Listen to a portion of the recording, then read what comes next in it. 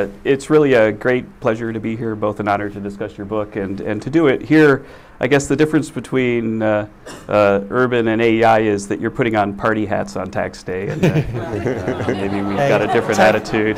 Tax Uh, Policy Center wouldn't exist if we didn't have the income tax. but, but, but, but, I, but I also would like to say that, that it's a, especially a uh, honor and pleasure to be here to discuss precisely this book because uh, very early in my career, uh, the Brookings papers uh, sort of bet on my research early and let me write a Brookings paper on some of the stuff that started in my dissertation.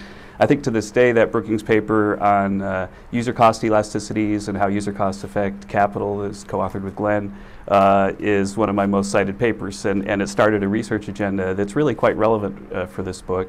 I, would also like to say that, that I, I really enjoyed your presentation uh, because it had the same uh, attitude about academic debate that you have in the book, but I don't often see in reviews of your book, uh, which is that I think it's the job of the academics and the, the public intellectuals uh, to think about the future as being a bunch of coexisting quantum paths, and that our job is to look at a path that might happen and to define it really precisely. And I think that, that really it's a courageous book like so many economists are, are, sort of on the one hand, on the other hand, maybe this, maybe that. But you take uh, in, in, the part of the book that I actually like the best, the, the, the, part that you said people will disagree with and that I disagree with. The thing that's wonderful about it is that it that it really precisely defines something that could happen. That, as you call it, terrifying. I think in the conclusion, and it's true. And if there's a quantum path that might happen that's terrifying, then understanding what it looks like and what you might do to stop it is, is crucial. Uh, so, so in, in my uh, role, though, as devil's advocate, or maybe uh, some in the audience would think of me as the angel's advocate, uh, that I think is to talk about the things in the book that give me pause, uh, and that's the thing I'm going to do first. Uh, and, and uh, I can say that if anything that, that I say is something that you want more time to respond to, to let me just give you an open invite. You can come to AEI and we can continue the discussion at any point. I'll fly you in from Paris if you want to come back and say I did so, something that you, don't, you disagree with or you have better data on or something like that. But it's in that spirit that I want to uh, point out some things that I think that in the the negative scenario that's getting a lot of attention, the sort of capitalism destroys itself scenario, uh, some things that make me not so worried about that scenario. Uh, and then, uh, but then I don't want to just have a sort of negative effect uh, or, or, negative attitude towards my role here. I, I also want to then sort of put up an alternative view of what capitalism is doing and how it's functioning in our society here. Uh, and, and then try to define it as precisely as you have with yours, so that we've got a couple of competing views that we could then talk about. And, and, and you know, preemptively, I want to say that, that my description of this alternative view, uh, that, that I have the same attitude towards it that you conveyed in your discussion, that, that it could be, could be true, might not be. Um, so, so I apologize that, that I've got slides with a lot of words on it, and, and my eyes are bad, and that, that thing is a little small, but I can sort of see it. But, but I think that it, it, didn't really go into the, uh, the, the nuances of the sort of negative scenario. But the basic idea is this, that if, if capital increases, uh, then it should drive down uh, the return on capital. Uh, but if the return on capital decline, declines kind of slowly, suppose it didn't decline at all if capital went up, then the capital income share uh, would go up. Uh, and that it's possible to conceive of a scenario uh, where the capital income share basically explodes and capitalists get more and more of, of the national income. Uh, and, and correctly, uh, uh, the Thomas shows that uh, in order to have that happen, you need to have a, a high elasticity of substitution, elasticity of substitution between capital and labor uh, greater than one.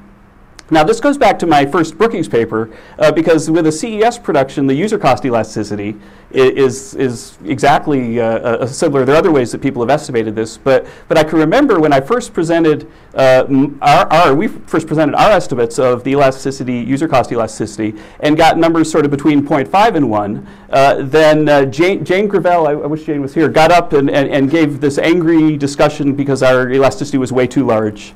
Uh, and, and, it's just kind of nice to be in a position where, where the elasticity that I think is kind of true is finally smaller than what somebody else uh, thinks. But, but I think that get, getting bigger than one, for me, I, I, I, know that there's a paper that, that you guys cite that gets there, but it seems kind of implausible to me, in part because the user cost elasticities that I see uh, and, and the elasticity substitutions that are estimated in the literature uh, are often looking at equipment. And I can sort of understand how you might have like a robot at McDonald's who could make a hamburger. Uh, but, but about half of capital is structures, uh, a, a, little bit less. Uh, and I don't really understand uh, ex exactly how we're going to get a lot of substitutability between structures and, and labor, and that's in their capital measure. Uh, a CBO review by Jennifer Gravelle, Jane's daughter, reviewed the elasticity of substitution literature recently and said 0.6 is probably about the right answer.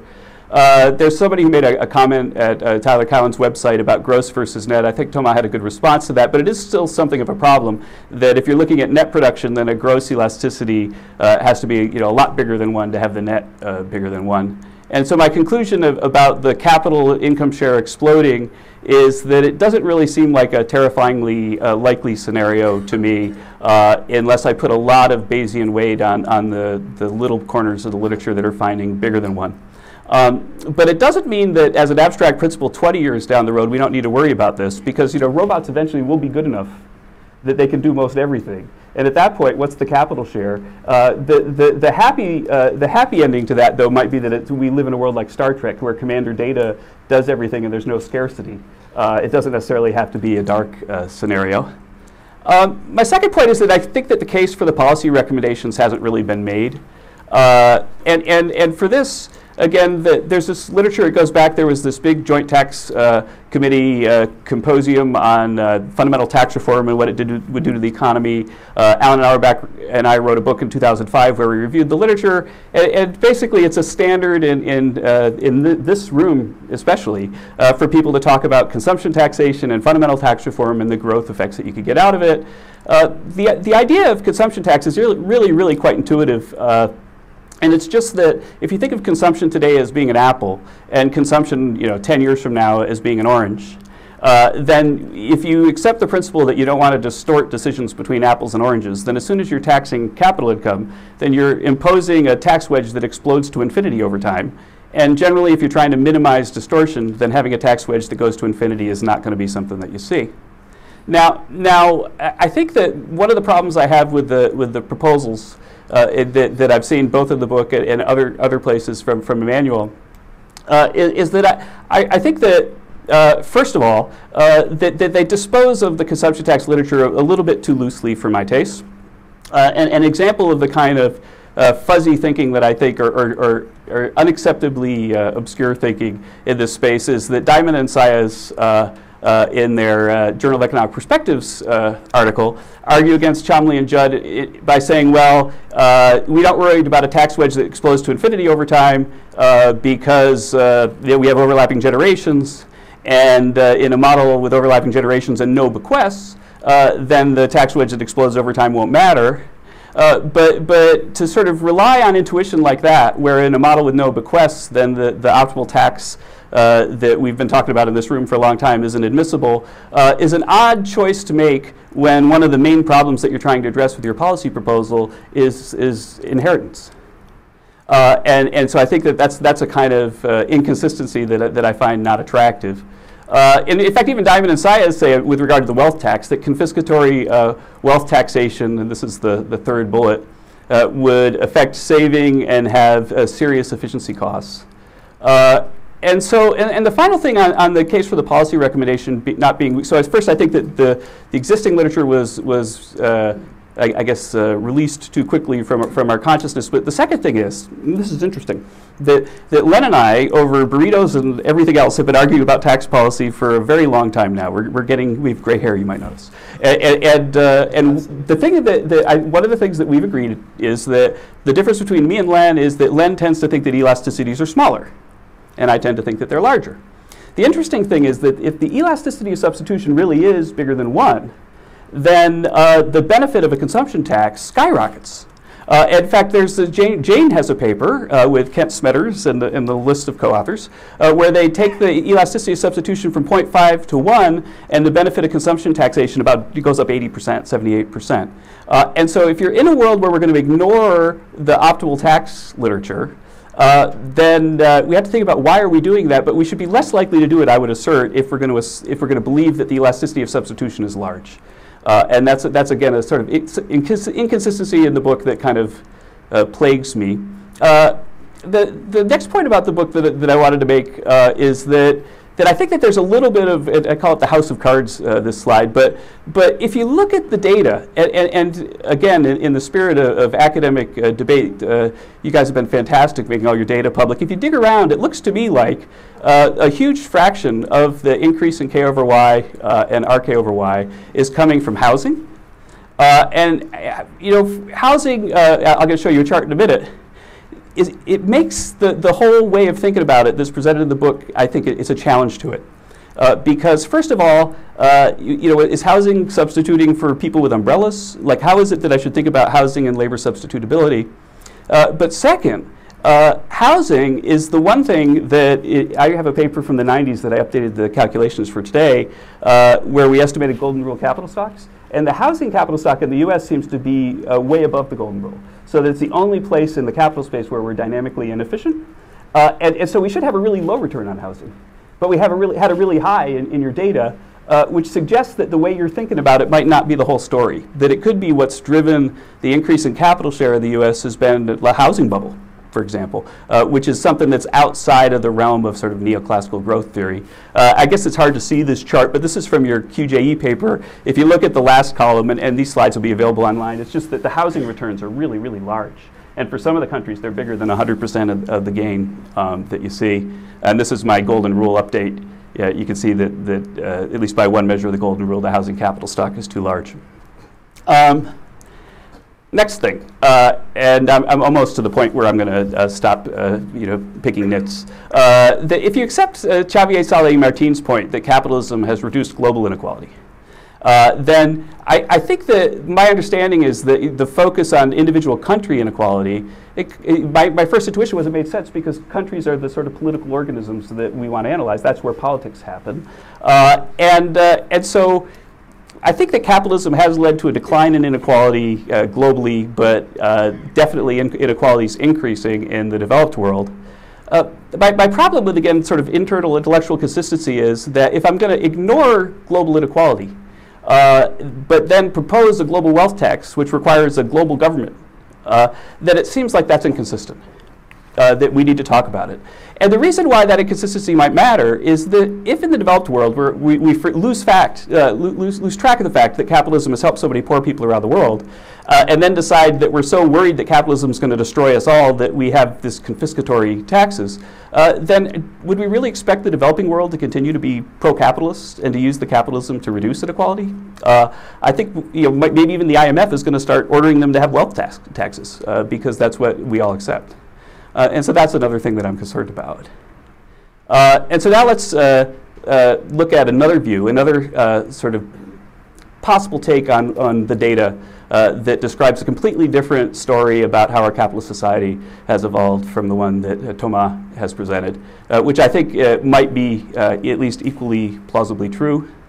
Uh, so we just took data. I think this is pretty consistent with, with your stuff, but I wanted to be making the, char charts myself. This will all be available on the website here yep. and also at AEI. And if anyone wants to see the calculations, we'll, we'll share those too.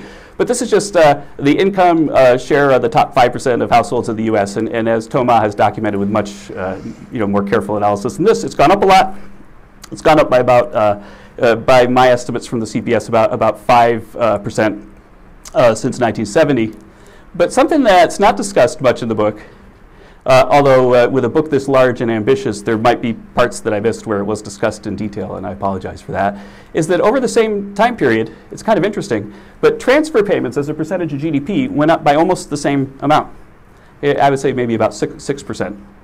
Uh, and so if you're looking at pre, pre-tax income and the share to the top uh, going up a lot, uh, and then saying, well, that's a metric that society is not just, uh, and you ignore the increase in transfers, then you're not really you know, giving the whole society a fair shake uh, in how just it is. Uh, and uh, so if you look at the US Gini coefficient post-tax, post-transfer, it's gone up, so it's gotten a little bit worse, but it's not nearly as striking as, as the top 1% uh, charts that, that Thomas presents.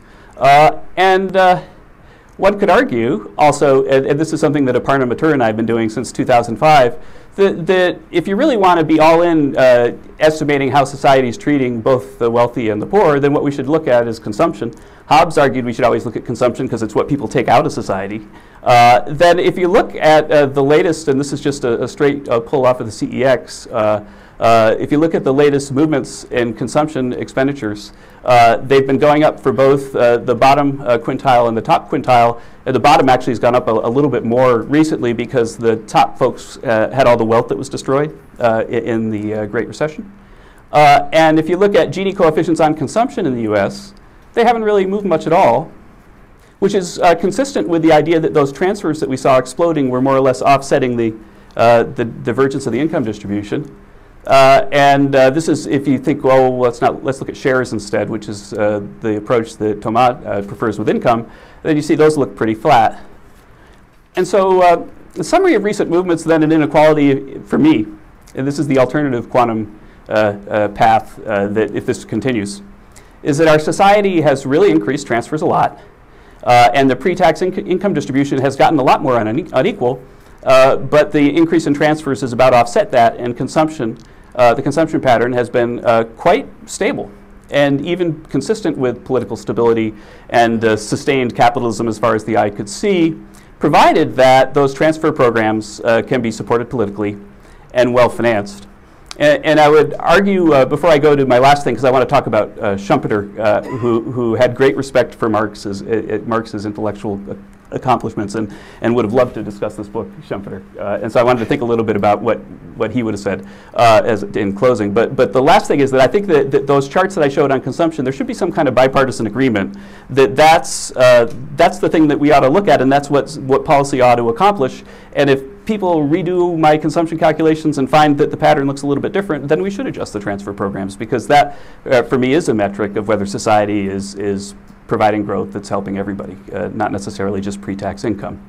Um, so, so here's the interesting thing, uh, and, and I found Schumpeter very, very compelling.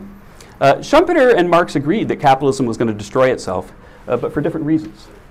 Uh, Schumpeter thought, uh, first, that Marx was wrong, that, that growth was going to slow down, that we'd get too much capital, uh, and that there'd be massive increase in inequality. And he wrote, he actually first started writing about this in the teens, but, but, but way, way back in ex ante theory, he said that in 1978, 50 years later, uh, that the share of the wealthy would be about the same.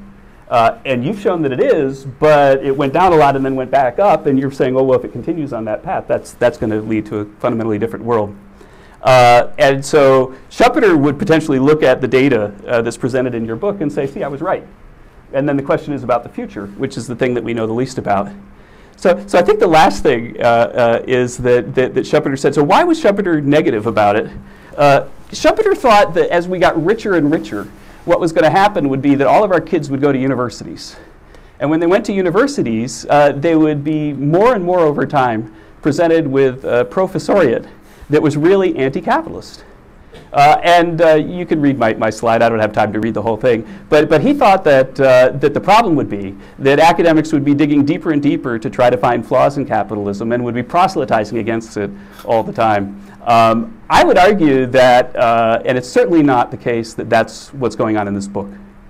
But if you look at some of the discussions in the book, I think that Schumpeter would find uh, that that is an echo of what he thought was going to happen.